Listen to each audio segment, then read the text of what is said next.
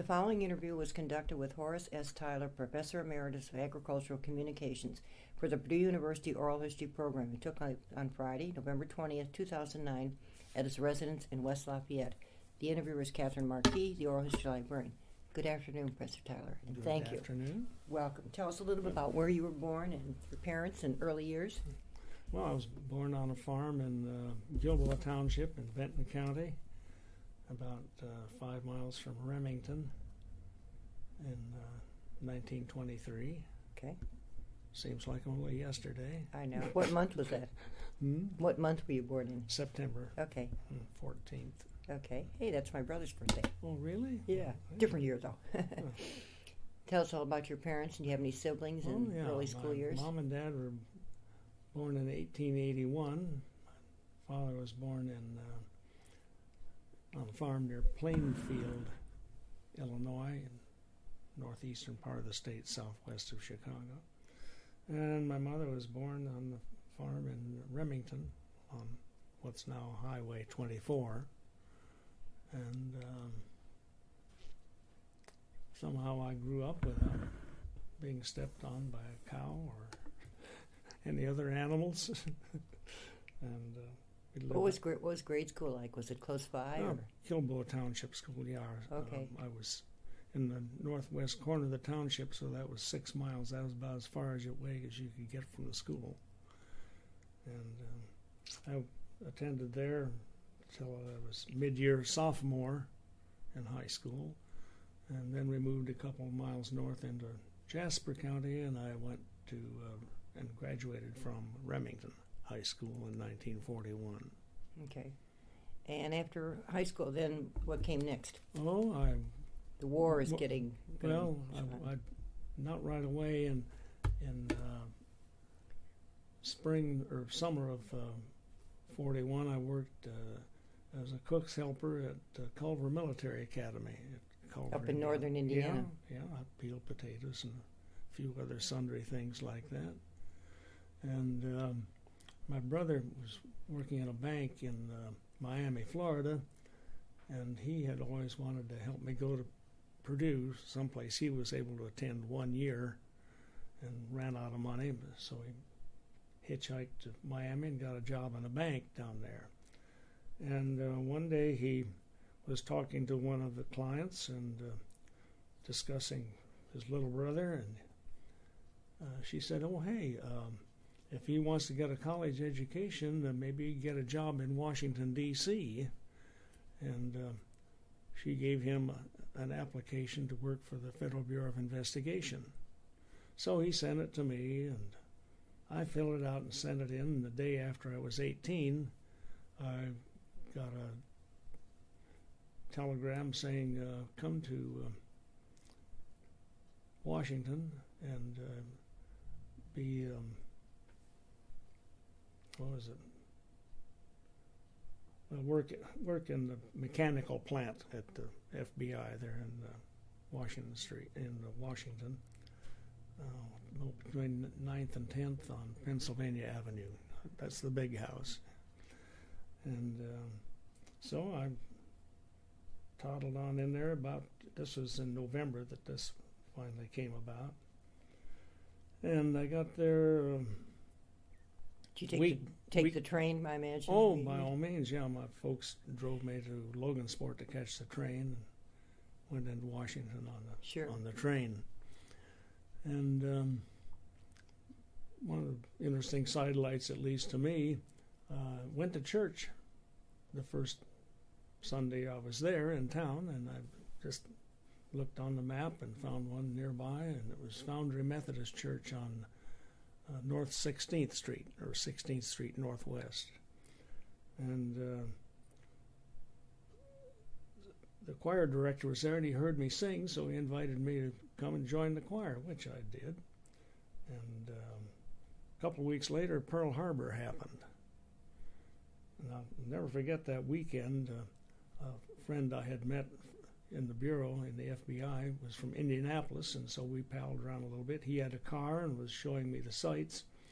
And on the Saturday night before December 7th, we were on a hill up above Arlington, Virginia, uh, looking down at the Capitol, and it was just bathed in white. It was really a beautiful looking scene. Mm-hmm.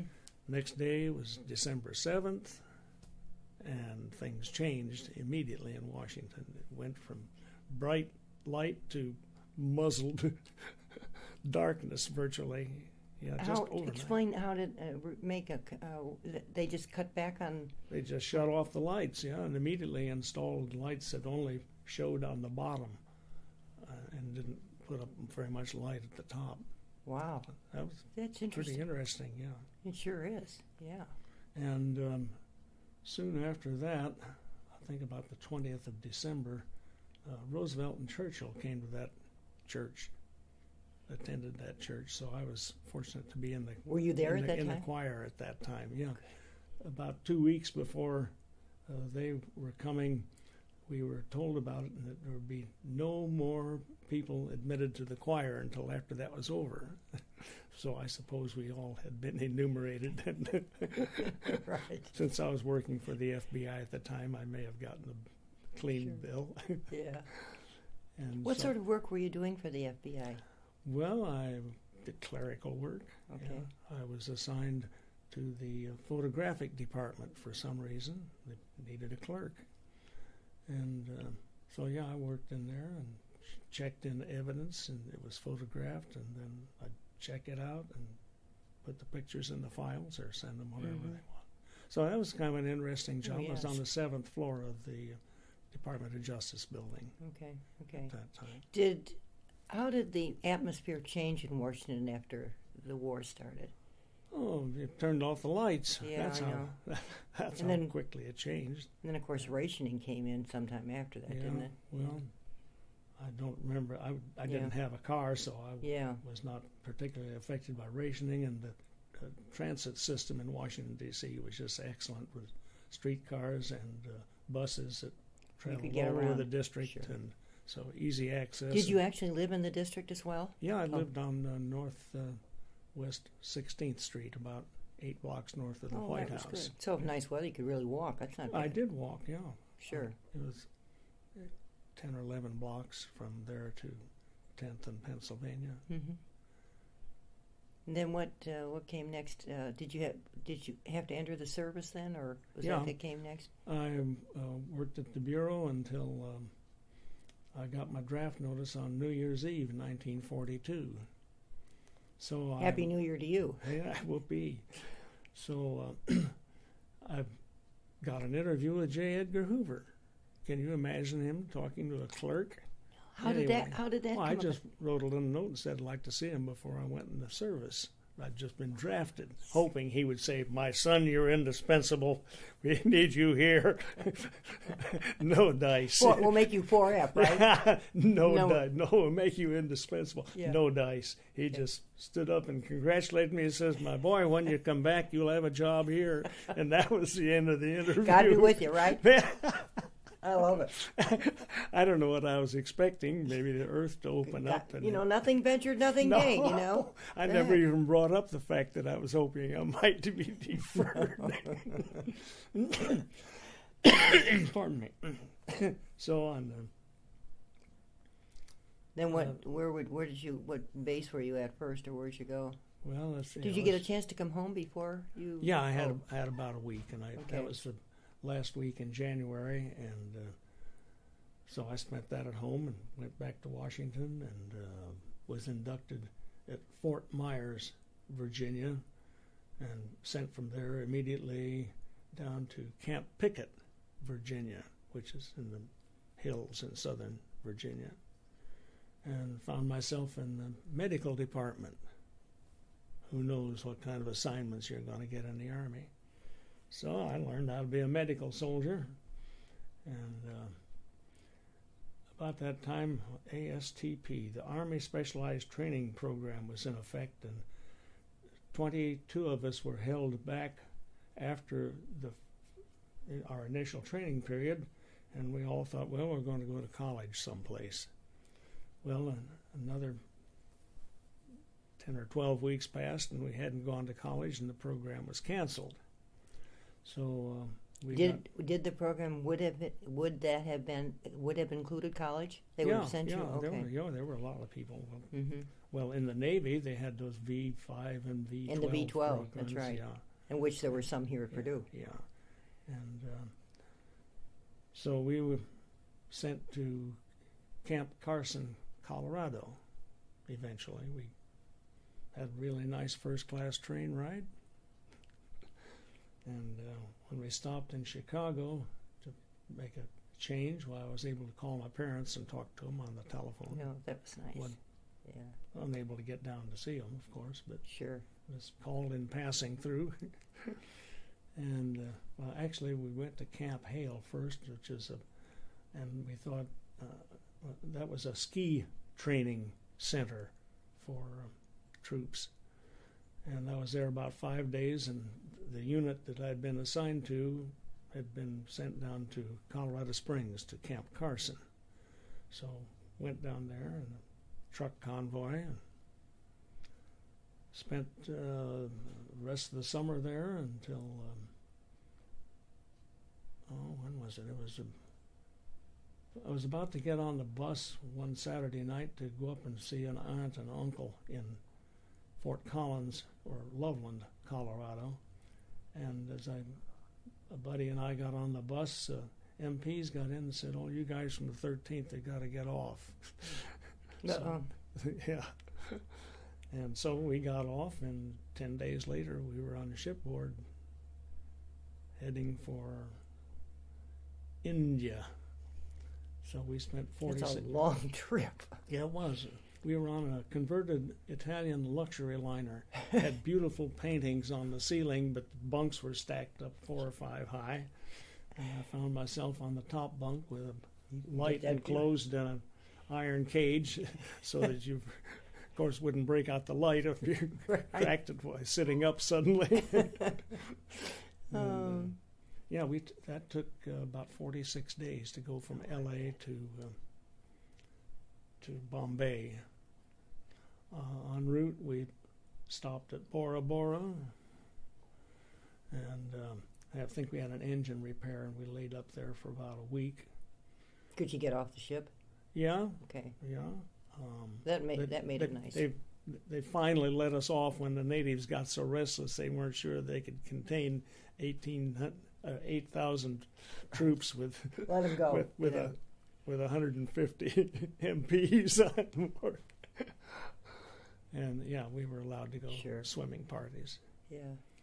And um, then we kept zigzagging down and went around New Zealand someplace and came up on the bottom side of uh, Australia to uh, Fremantle. The big city there is Perth, P E R T H. hmm And we were there a few days and then continued on. This time we were accompanied by uh, um, couple of destroyers, something French or Dutch or something up to uh, Bombay. Had um, about a had 14 or 15 day train ride across India. Takes a long time when they stop every 50 miles for tea, which was the, the case. Traditions die slowly. Yeah, there would always be a squad of Gurkhas when we'd stop, and uh, they'd have a huge 55 gallon drum full of uh, Tea. tea with uh, that already been sugared and milked or creamed, Sure. and uh, you knew it was bona fide authentic sugar because there'd be little fragments of burlap sack floating in it that came off the sugar bags. You're getting too much detail here, I know, but that's stuff that comes. That's to mind. good. Yeah, that's fine. And uh, Lots of traveling, though. My God, Yeah, all the way. yeah. Oh, you mean Yeah, we yeah, we had 14 days on the plane on the train, and uh, wow. uh, two days and a night on a riverboat on the Brahmaputra that took us pretty close to Ledo, Assam. Uh, and we finished the last part. I think it was either by truck or narrow gauge train. So that's how we got to China Burma India Theater, and uh, after I was there for oh two or three weeks, two other fellows and I were assigned to the 20th General Hospital to learn uh, laboratory work. So I learned blood lab, uh, blood lab, and uh, urinalysis and stool examinations, and learned a lot. You got a college education Damn to some degree in, a, in eight weeks' time. Then we were sent back to our units. And, Sure. um, part of our group worked with, uh, were in training with Gordon Seagraves. You've heard of the Burma surgeon, Gordon Seagraves. Right. He had Burmese nurses with him, and uh, so he trained a lot of our people, took them on flank movements and things like that. hmm So that, uh, I didn't go on any of those with Seagrave, but many of the guys in our outfit did. There's no host- hostilities around there, was there? No any what- fighting or anything of that sort? Any hostilities around Uh, in that on yeah, the there border? was- Was there? There were a lot of hostilities. Or were there? Okay. Yeah. Because the war was in Europe at that time, even when it was in by that time, you know, I yeah. also in Japan and Mm. against Japan. Yeah. Well, we were uh, supporting mostly Chinese army while we were there, and um, Are the Flying Tigers over? Would be over there too? oh yeah, they were Okay. there at that time. Sure, but they were okay. in China. Sure, and right. We were, and we were in Burma, Right. Yeah. north, Right. northern Burma. So yeah, I was in two campaigns: northern Burma and central Burma, over about a 16-month period. Mm-hmm. And you still kept on in the medical. It's like a medical corpsman. You were still in the medical division. Oh yeah, The whole I- time. we had uh, what amounted to a. Our company was divided into three platoons, and each one uh, represented uh, uh, kind of a surgical, portable surgical unit. Right. Okay. And we'd put up tents and put up a couple of ba- uh, put up four bamboo poles with a notch in them, so that they were spaced just so you could put a litter. So someone comes in on a litter, you just pick it up and put it on, and you don't have to roll them around an right. awful lot. Okay. And uh, I'll never forget the first time I was asked to give an anesthetic. Um, soldier came in with a kind of a bad wound in his shoulder, and uh, the surgeon says, um, "Well, I think I'll use pentothal." I'd never heard of it. I'd put a dog to sleep with ether back in Camp Carson, but pentothal. Okay, well, how do I use it? Well, you stick the needle in this jar and pull out tube full of red stuff. I says, How much shall I give him? And he says, Well, I don't know. Let's start with five cc's. So we were both learning on the job. That, the researchers will love that. Wow. Don't try it on me, right? yeah. Well, anyhow, It worked. eventually the guy went to sleep. And we'd pumped so much into him by that time he didn't wake up for six hours after. but at least he did wake up. That's important. That's right. That's right. That's the end result, right? Bring you back to life. yes. So yeah, those are just so many little incidents that come back to me about that. But uh, I guess it's memorable, or I wouldn't Sure. think of it. That's right, exactly. Yeah. Were you stationed there the most of the time that you were in the we service? traveled all the way across uh, Burma, uh, living in tents or Now it's called Myanmar. Myanmar. Yeah, yeah, Uh, right. Yeah, we were, and in the northern and central campaigns, those two campaigns, uh, that's uh, just largely um, unsettled country. It was just simply Oh, I bet. jungles and Yeah. trails, and uh, the um, American engineers built that road across. They had machine guns on their bulldozers, and occasionally had to use them. But we followed that, uh, Yeah. fo- followed the bulldozers as the road was built. Uh-huh. We also went on what they called flank movements. Uh, the main force of the Chinese was being pushed down that road as it was being built, and um, side uh, on on the sides, both either flank, uh, they would have units of maybe a regiment or maybe even a division that would take a big side swipe down to uh, either try to cut the lines or to maintain what they had already established. And so I went on a couple of those flank trips. We walked.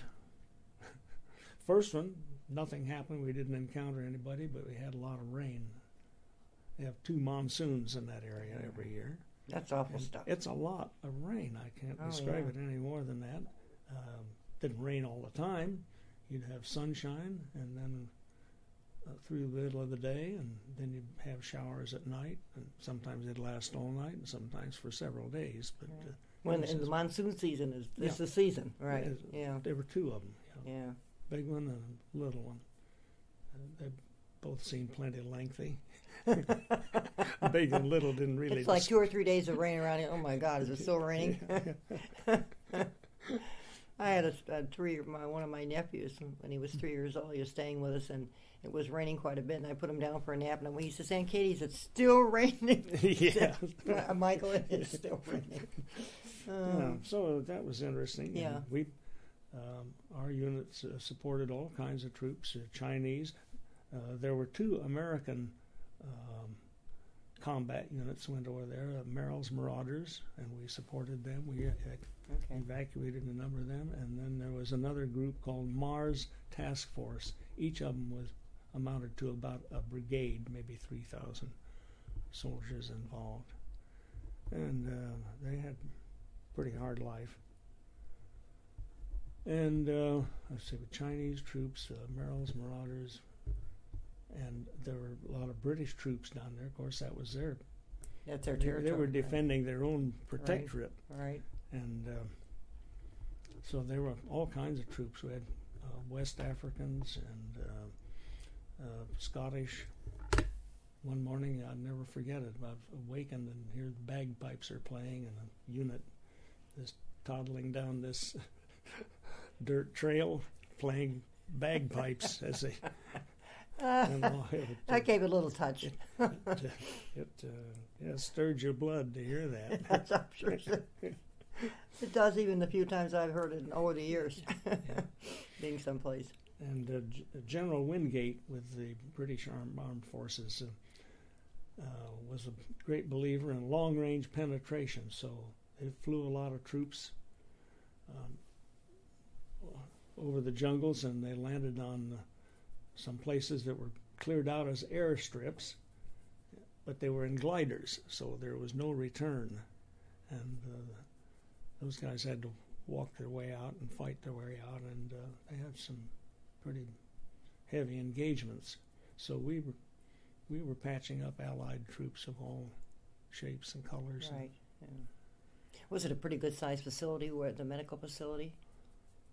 And Well, our facility tents. was a tent. tents, yeah, yeah. but air, acreage wise, I mean, there was quite a- Oh, I don't know. Oh. well, if you a, had a tent would be what twenty by Sure, thirty right. something max. That's a Right. big tent to put yeah, up. that's right. And Yeah. yeah, we moved those on. We had uh, what they call six by six trucks. I don't know if you're familiar with that. It's Mhm. a six wheel truck with Sure. all wheel drive or front wheel drive as well. Yeah, in our in our company with three platoons, uh, each platoon had two or three of those six by sixes, and they could move either supplies or troops. And we rode in those wherever the road, if there was a road, well, we That we could travel on, huh? Yeah. yeah, well, we traveled probably thousand or twelve hundred miles across northern Burma, at least Wow. that much. Because a lot of jungles and a lot of hills, a lot of detours to take, and the road was being built as we went along. Right. Yeah.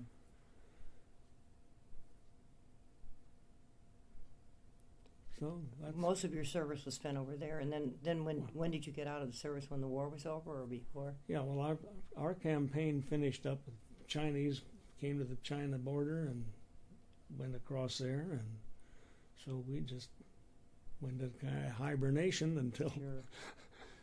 because the campaign was over. Right. The I understand. The Japanese had been obliterated. Not a pretty sight, but right. um, yeah. Then we were in in camp.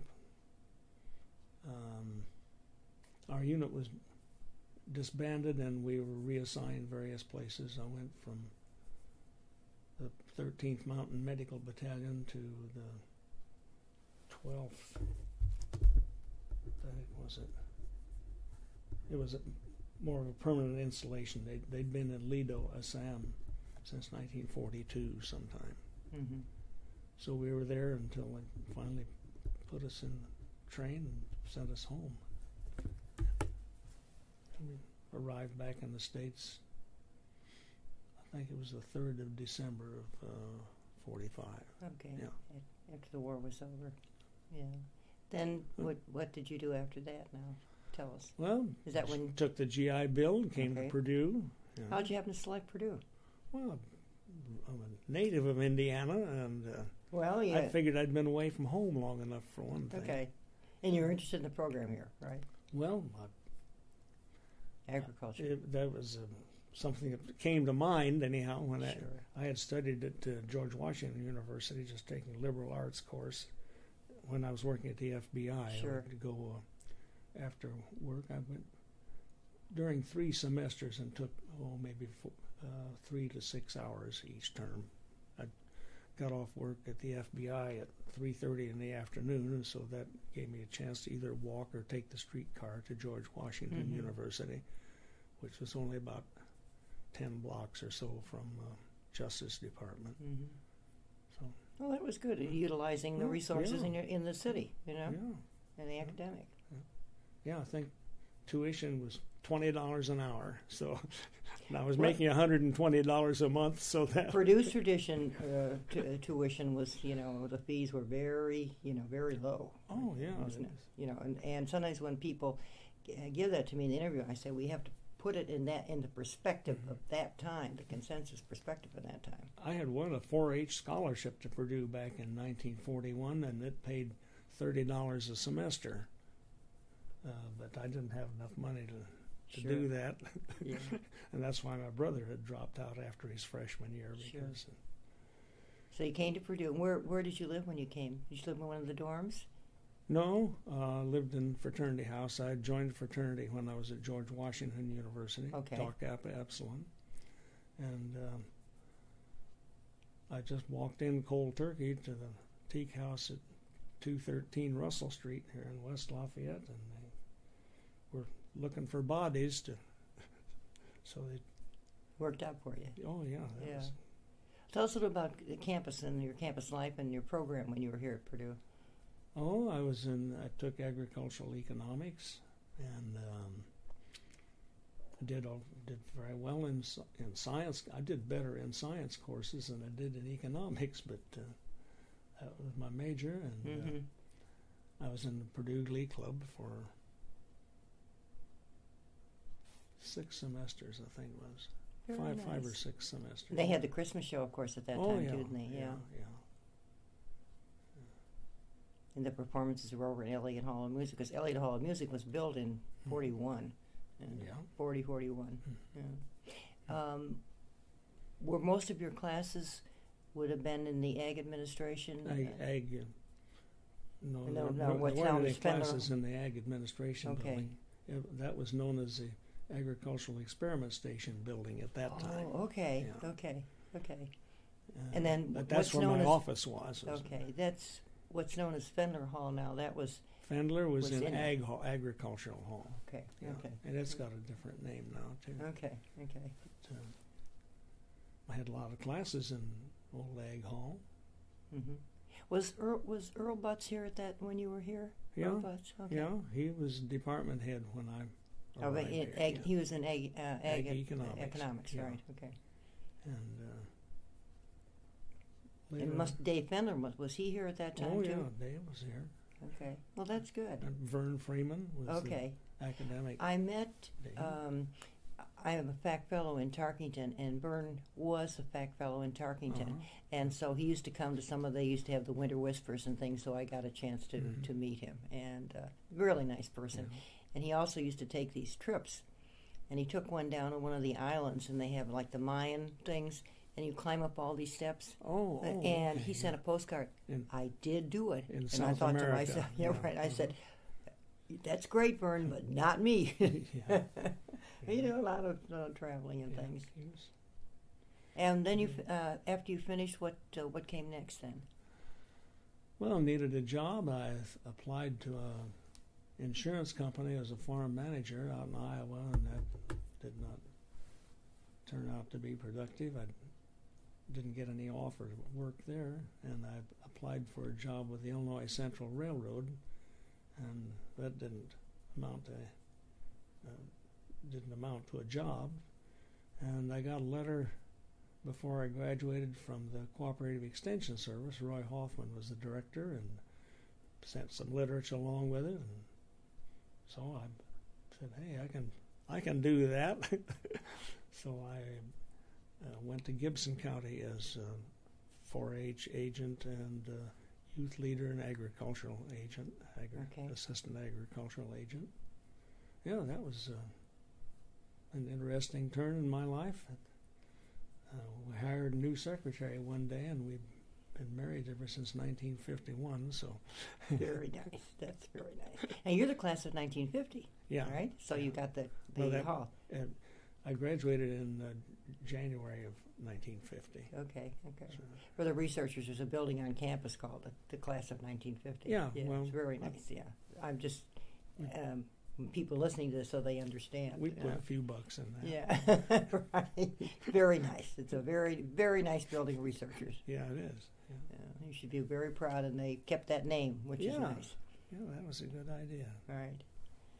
Then after, the, go ahead and tell Oh. us about your career here at Purdue. And well, I was back, an assistant county agent for a year, and uh, one day I got a call from Roy Hoffman, who was the director of the Extension Service, and uh, he says, uh, "Why don't you come up and do the radio job, farm radio job, in the Extension Service?" Well, I'd been on the radio a little bit down in southern Indiana on two or three stations down there sure. in our they had what they call the Pocket Neighbors program down there. There was a, on the Evansville station, WGBF, I think it was, yeah. And then Princeton, Indiana, where I was living, um, started a new radio station, and so I was on that. So I'd had a little bit of experience, but nothing really qualifying me. But they asked me to come up and do that, so that's what I did. Well, tell us a little, what did that involve? Was it uh, for the research? Was it a weekly program or Oh well, um, was this over WBAA? no, well, this, well, yeah, that Oh. was involved in it too. Okay. But this was this is the statewide program where you service radio stations all over the Indiana and the Midwest as well as Okay. WBAA, and I, I had a daily program on WBAA called the Farm Forum, and Okay. It had been going for a good many years before I got there, so I just kept on doing what they were doing, and I did that for I think 27 years. Was that on a weekly basis? Is that when the program would be? Yeah, Daily. Yeah. Oh, okay. yeah. Wow. including Saturdays. Oh my God. that cuts into the sports activities. well, I had student help with that, and where where where was it located? Where did you do your broadcasting from? uh, Ag Experiment Station building, AES building. What do they call that now? The Ag Administration building. Okay. Yeah, Okay. second floor. They had a had a remote microphone in there, and pop in, and a red light would come on at twelve noon, and I'd hear them playing the theme. And You're on. Yeah. Going, "You're good on." afternoon, friends. yeah. Here I am. yeah. Oh. Yeah, I um, made. Uh, Did you ever meet uh, Johnny DeCamp at all? oh, doing very well. Yeah. Okay. In fact, he was our two doors down neighbor. He built after we moved out here. Well, he Is that right? said, "Hey, that looks like a good place to live." So he bought a couple acres there. Oh, I've met him. You know, I've met Oh, him a few times, and he's very, very nice. Yeah, you know, we, yeah. I've, we were, I've know good met his neighbors. wife too. Yeah. That's nice. Yeah. Um, the ex- you were an extension specialist. Is that what was be with that farm yeah. farm? Yeah, And- well, the, the agricultural radio job. Okay. That's what that Okay. amounted to. And then you mentioned you were an assistant to uh, department head, or why don't you tell us a little? And then they changed it to agriculture communication service. Oh, yeah, okay. Uh, Ralph Reeder was the director of the Agricultural Information Office when I came here. And uh, I had worked here, oh, let's say, until 1953, I guess it was Mm-hmm. and um, did radio programs and made tape recordings that were distributed throughout the state. And um, in '53, um, there was something called the National Project in Agricultural Communications that had been funded by Kellogg up at Michigan State University. And Ralph Reeder, my department head, and I, and uh, oh, I can't think of the lady's name from Home Economics, and Einar Ryden uh, was a member of the psychology department at Purdue, and he had been uh, set up to uh, offer courses that would lead to a master's degree for extension workers, county for agricultural At extension. Michigan State? Uh, no, here. Oh, here, here okay. And the four of us uh, went up to uh, East Lansing and had, I think it was what a three-week seminar um, that dealt with sociology, psychology, and all the components of communication, which was an eye opener to a lot of long-time radio, TV, and publications people, and um, you know that was a that was a good gate opening experience for all of us that attended, and it was opened up. Eventually, they were able to conduct that uh, so that extension information specialists or experiment station information specialists uh, from all over the U.S Mhm. or had some exposure to it. We put on programs based on that information in uh, all of the counties through county through, Through- Throughout the districts. state? Huh? Yeah, throughout Mhm. the state. Yeah. hmm Oh, good. And yeah, that was uh, that um, kind of revolutionized and uh, gave us spark to all the agricultural communication people from Washington D.C. all across the country to get advanced degrees and Just took off from there. oh yeah. Very nice. So- That's good. Yeah. what about the? Uh, was there any national 4-H congresses? Did you go to Oh some yeah, of those? went, yeah. From the time I moved up here to do the radio stuff, um, went to a National 4-H Club Congress to uh, line up um, Indiana 4-H delegates with various news media people for Mhm. either Okay. broadcaster, press coverage. Yeah, that was fun. Yeah. I worked on the national committee two or three different years Okay, that's good. doing Okay. that. When the local uh, 4-H was here, were you in, did you were you involved in any of the, the programs that they have with the local 4-H? They used to have their ne- they have meetings here. No, Not so much. no. Okay, no. okay. just with 4-H people were on programs that I some interact programs with, I right, produced. yeah. Yes. Sure. Okay. What about the administration? Something you- were department head. You want to talk a little no, bit about that? I that? was never a department head. I was acting Okay. off and on for about 20 years. When Well, that's okay. What were some of the re, um, Oh. response? well, Just Ralph Reeder, my department head, uh, uh, took a year sabbatic to go to graduate school in Michigan State University, and so he asked me to serve Sure. as acting department head during that time, and uh, then off and on he had, had assignments, and uh, Ed Farringer, a, companion of mine who was also in uh, ag information, later became head of information, and Mm-hmm. after he suffered some illness, why I was asked to serve as acting department head while he recovered. So you know, but that was those Sort of things helping were them, sporadic right, over sure. about a twenty-year period. Yeah, that's very good. Yeah, keeps things moving along. Well, yeah, I guess nothing, nothing, I think I'm doing it right. nothing totally stalled. Uh, uh, let's talk a little how about the Ag Alumni Association. Your involvement with that as the president and vice president, yeah, well, I got involved in that really very early, but uh, that was because you were an Ag that, that alum. was, that was that was through the ag the ag four a quartet barbershop quartet. Um, clark stevenson the head of horticulture and um, uh, Cra- herb kramer from the agronomy department and um, uh, john osmun from entomology department. We we're known as the Ag Four, and we sang at an awful lot of Ag alumni meetings all Oh, over the super. state. so- And also at the uh, uh, the fish fry too. oh yeah, we did some there too. Yeah, yeah. Your modesty. Oh, You're no, modest. no. Oh, those were fun things. yeah.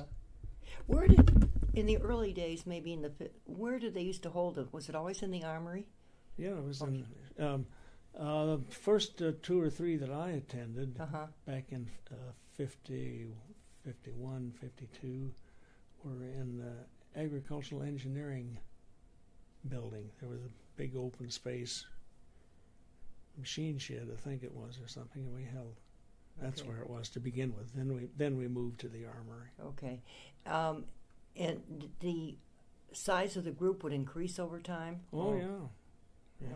Well, more graduates kept happening. More people were attending. Yeah, the GI Bill put a lot of a lot of eggs through college. Sure. Right. And they had the now they they have the fish the fish for a long time. yeah, yeah. Was, they used to have real good fish. Uh,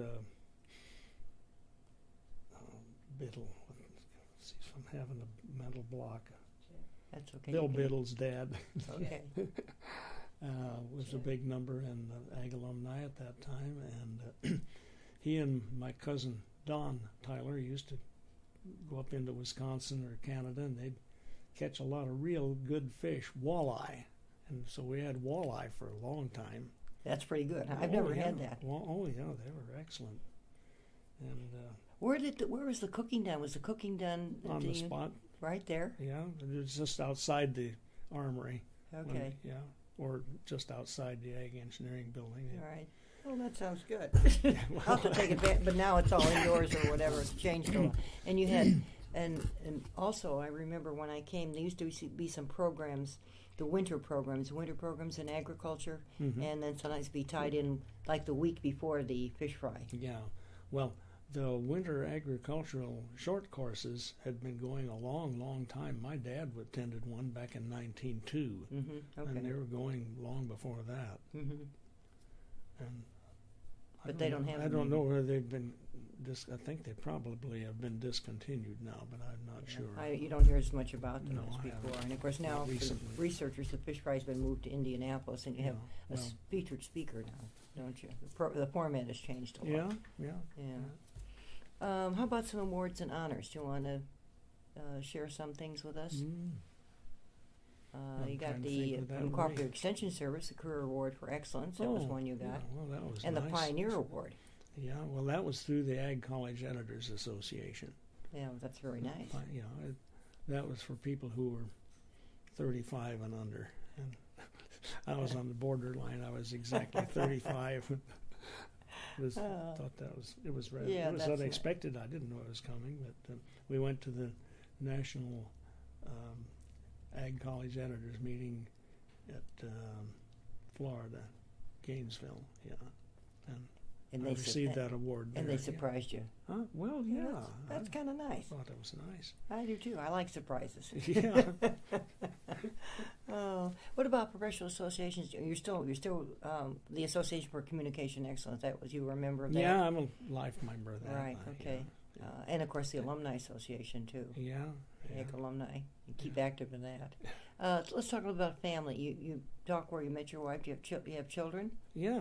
Okay. Yeah. I met um, Pauline Park in, in Gibson County when I was there. She signed on as secretary to the um, Extension Service, County Extension Service. And uh, we were married in September of 1951. Uh, in 1953, our daughter was born, Debbie Tyler Tutak. And uh, in 19 on Christmas Day of 1957, our son Dan was born, and uh, on in March 6th of 59, Tom, our third child, was born. hmm Uh, Tom lives in Hawaii with his family now, and Dan. Did your children come to Purdue? They go to Purdue. Yeah, the um, yeah, all three of our kids Okay. are Purdue grads. What does your son do that lives in Hawaii?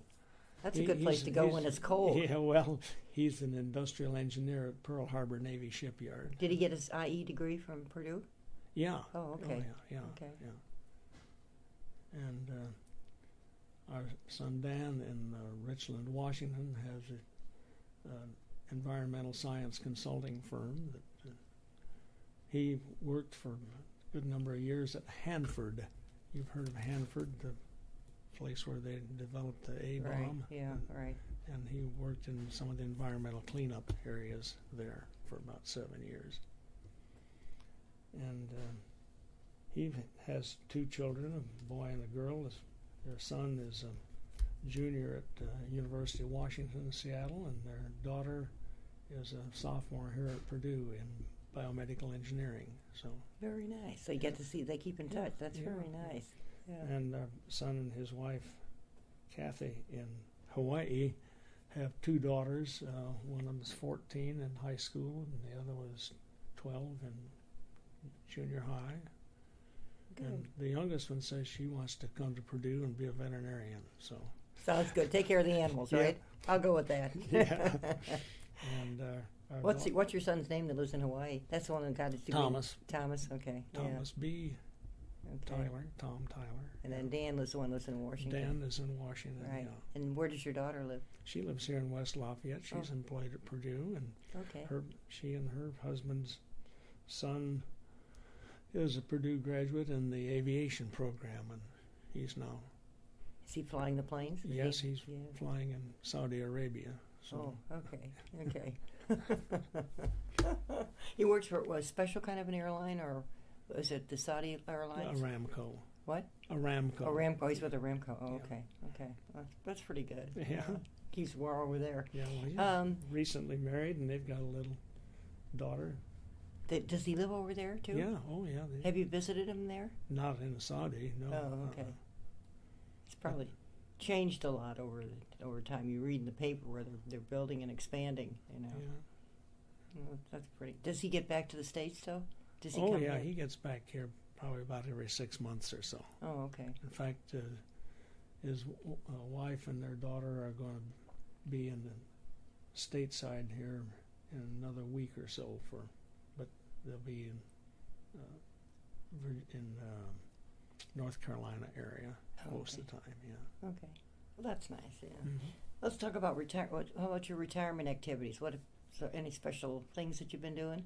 Do you do any traveling Oh. or? Yeah, we did a little traveling. We had a, a German exchange student that lived with us for a year and spent a senior year in high school here Uh-huh. with us. And our oldest son was in was a senior at uh, Harrison also, and Tom, the next, was a junior. So the three boys palled around got along well. And um, he, after his year was up, he went back to uh, Germany and uh, eventually uh, became an MD. He's a pediatrician in Over in Germany? In, in Germany, yeah. Uh-huh. Uh-huh. And he's been back here to visit us Oh, well, that's at nice. Least keep once, yeah. Yeah. Yeah, That's very nice. and uh, brought his family with him, and his kids have both of his both his children have uh, stayed with us at one time or another, Uh huh. and uh, and they've also been to Hawaii to visit our son Tom and his family. so um, do you have a, uh Purdue tradition that comes to mind? tradition. Tradition, anything special like commencement or the Boilermaker special? Oh, Remember our homecoming years ago when they used to have those displays, you know, outside? Yeah, yeah. The fraternity house we built, we built them Sure. all the time. And they got the, used to get those awards for Yeah. like twenty-five dollars or something. They'd announce them at the game. Yeah. You know, big deal, twenty five bucks. I know, but all they those listen. man They did. hours. and- They did pretty well for that. There's a lot of work in there. yes. Uh, Yeah. uh, do you have an outstanding event? I'm sorry. what? Outstanding event hmm, that comes to mind? Would you'd like to share with us? Mm. Maybe when you met your family. I, well, I think you're, Yeah, all my all my events are started uh, were, right? were very have been very pleasant and Yeah. productive. I, Um, I'm going to leave the final things. If you any summary or anything that I didn't ask that you'd like to share with us. I've told you just about everything I can think of. and more than I had planned on, probably. Sounds sounds good. My wife's making a motion. Do you like a drink of something, Would you like tea a or cup of hot coffee? or- tea? Um, what kind? Hot tea? Hot tea? Would Are you like going to join us? Constant, Okay, yeah, that'd be- constant comment. You like that? That would be fine. Oh, Yes, okay. that'd be lovely. Yes. Um, so, you, anything special? We're going to have tea now, right? Yeah. Okay, sounds good. Yeah. Thank you very much. Oh. This has been very, very nice. I appreciate that. Happy, happy to be reminded. Uh,